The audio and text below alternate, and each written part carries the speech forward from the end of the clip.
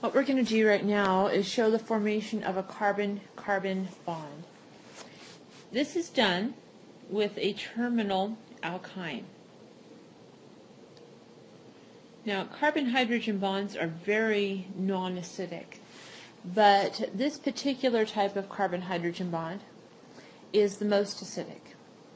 And the reason for that has to do is because this carbon here is sp hybridized. It has more S character in the bond. And so it's the most acidic. It has a pKa for this proton somewhere around 26, depending on what these other groups are. They tend to be around 26.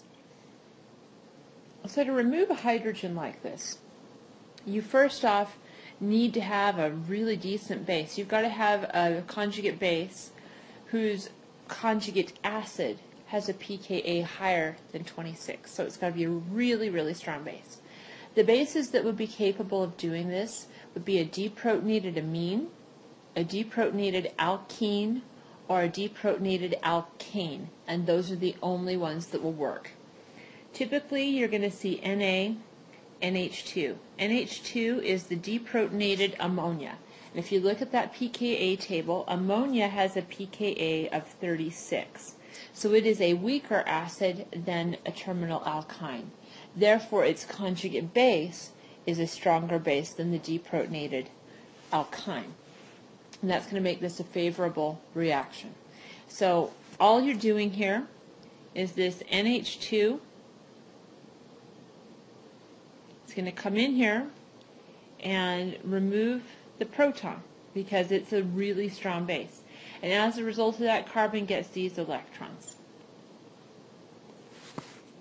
This is going to result in the deprotonated terminal alkyne and ammonia. That's why we do this reaction in ammonia, because that's the corresponding conjugate acid. Okay, so at this point it's going to be paired up with the sodium. That's the end of the first step.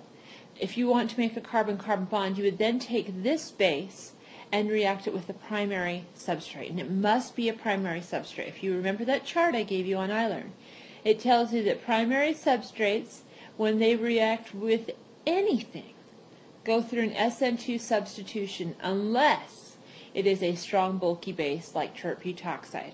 This is not a bulky base. That is a primary carbon.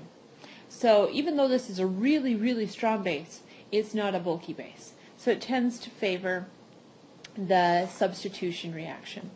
If you tried to use this type of a base, though, on a secondary or a tertiary substrate, because it is such a strong base, it will do an E2 elimination. It will not do a substitution.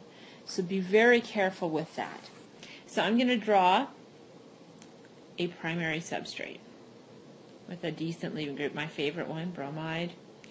So it would now come into the solution once you have this deprotonated terminal alkyne. And the solvent for that, again, would be ammonia. We just saw that on the last slide. And because, again, this is a primary substrate, you can do an SN2 substitution. And it will come in from the back side, add to the carbon, and the bromide will depart. This will result in the formation of this carbon-carbon bond. Okay? And then you just have NABR left over as spectator ions in the solution.